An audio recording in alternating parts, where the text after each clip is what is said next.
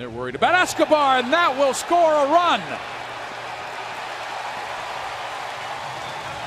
Escobar was so much in Williams' mind, he figured he was going to go, and Esky came back to the bag. The throw was a bad one, and the error makes it 2 0 Kansas City. And that's what we talk about a lot. You don't have to necessarily go over there. Okay, just the fact that you're a stolen base threat that makes them a little bit uneasy out there.